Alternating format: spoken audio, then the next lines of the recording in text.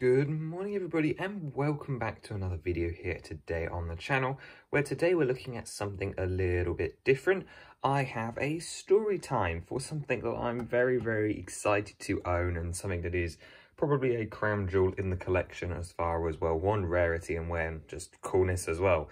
Um, so what you're looking at here is um, not the frame, the frame is something that I bought to keep this in but it is indeed the Fabuland puzzle from, oh, may I believe, um, 1970s or so. Uh, it's the second year of whenever Fabuland launched originally, and it came with this little poster and story, which we'll read through in a minute. But this thing is incredibly rare. Um, here in the UK, I believe was its only release, and um, it was released as a gift with purchase when you bought Fabuland sets in Lego stores, and you got a poster and the story and the poster is actually the narrative for what's going on in this picture. So what we'll do is we'll take a look at the picture and I'll talk about how I acquired this and then um, I'll read you the story and we can have a little story time as well. Okay, so as you can see, as I mentioned, this is definitely a puzzle. Um, surprisingly challenging considering it's only, what, six by five pieces. So less than less than 100 pieces as a puzzle.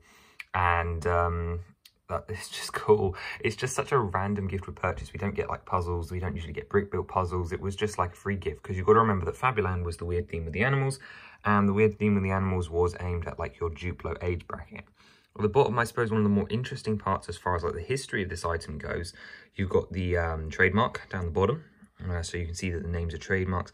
And there we go. So 1980 from LEGO Systems. So this image is a 1980 promo rather than 1978, so I was close.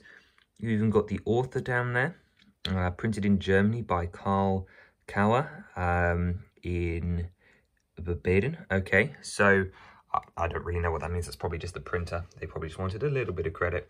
Either way, um, this picture uh, like highlights a load of different sets from Fabuland. So you've got uh, Horace's Ice Cream there, you've got Charlie Crow's Carry-All, um, the service station, the hospital, and Catherine Cat's house with um, Mortimer Mouse there as well.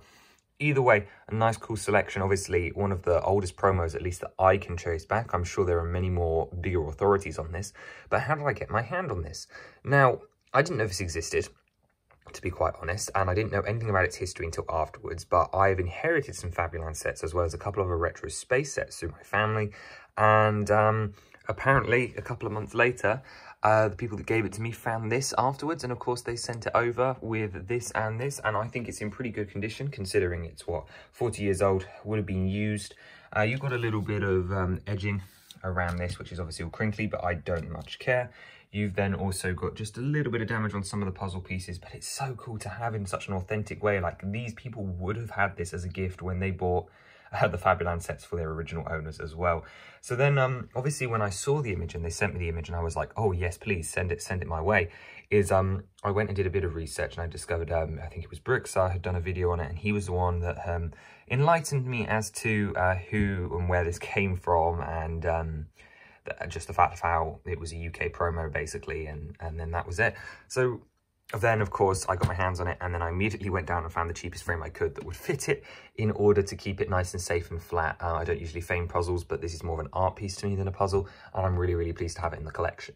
Now, if we move on to our piece of paper here, you can see it's actually got the same image again at the top, and then you've got your story down here in the middle, and then you've got the, the slogan from the time from 1980, Lego's a new toy every day, as well as all the different sets I mentioned. So if you were curious, Charlie Crow's Carry-All and um, uh, one of the, I think it was Ricky Rodent's car, uh, 328, 3634, 3665, 350, and 344. I actually have uh, the middle two here and then Catherine Cat's house so 350 as well.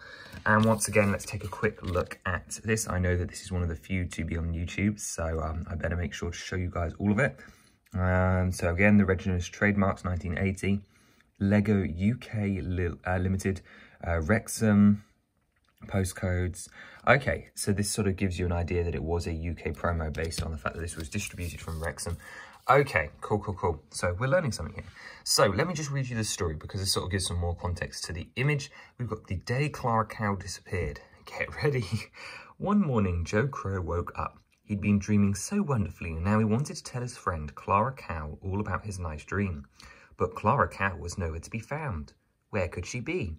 First he asked Harry Horse, who was drinking lemonade. He also asked Mike Monkey, who was standing by his car. And he asked Billy Goat by the petrol station. But none of them had seen Clara. Suddenly Joe heard a rustle from the dustbin. He lifted the lid, and there was Clara. She'd been hiding just for fun of it, and goodness was she laughing. Fortunately, Joe didn't mind at all. He bought an ice cream for all of them, and while telling them about his wonderful dream about a great big mountain of vanilla ice cream just for him to eat. And there is the scene in question, Charlie Crow finding Clara Cow in the dustbin. Uh, Clara Cow didn't actually come in that set. It was just Charlie Crow, who is by far one of the better of the Fabuland characters. I think only really beaten by the parrot, maybe, or just iconicness of the mices. Um, Clara Cow also looks great. I actually own both of those. um, what a odd story. Not really sure why they thought this was a, message, but then again, I suppose Fabuland's main audience was uh, that transition between uh, Duplo and Lego. So, um, it's just a really interesting theme and I'm really glad to have this piece of history in my collection. One day we'll take a look at the actual set and the boxes, which I do have um, all still, of course, you know me, never throw them away. But um, I thought this piece was rare enough to deserve its own video, just a little short one here today on the channel, and I hope someone enjoyed taking a look at this. Um, if you've got any questions about this one or any more insight to share, please do let me know. Uh, there's a high chance my facts are wrong. Anything uh, in the way of corrections will either warrant a follow-up video or a pinned comment, we will see. But either way, I thought I'd show it to you today and how I'm choosing to store it. Very, very pleased. Anyway, uh, thank you guys for watching. Uh, let me know down below in the comments anything about this in general, and I will see you next time. Bye-bye.